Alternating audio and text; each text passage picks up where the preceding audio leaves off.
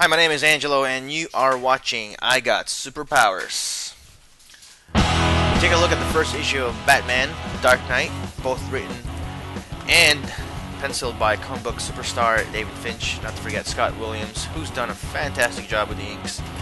As you can see, the artwork is awesome, and the amount of detail that David has put into the environment, you can see it is just plain amazing the way he's captured the that that feeling of of what it's like to be in the city of Gotham.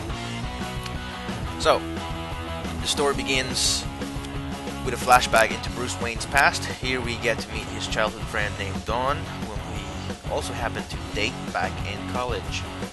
Because, well, you see now, in the present time, Dawn has gone missing, and it's up to our, our uh, Cape Vigilante to find her.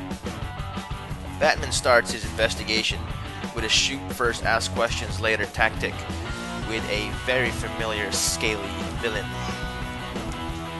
Elsewhere in the streets of Gotham, there's been strange disappearances of homeless men, and we get to see here one of the poor old bastards get toasty treatment from our mystery bad guys, and so the story thickens.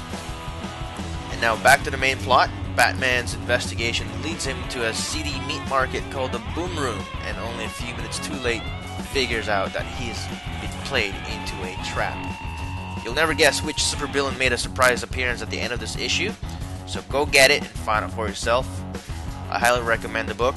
The art alone makes it worthwhile, and it's, per- it's a perfect jumping point for new readers.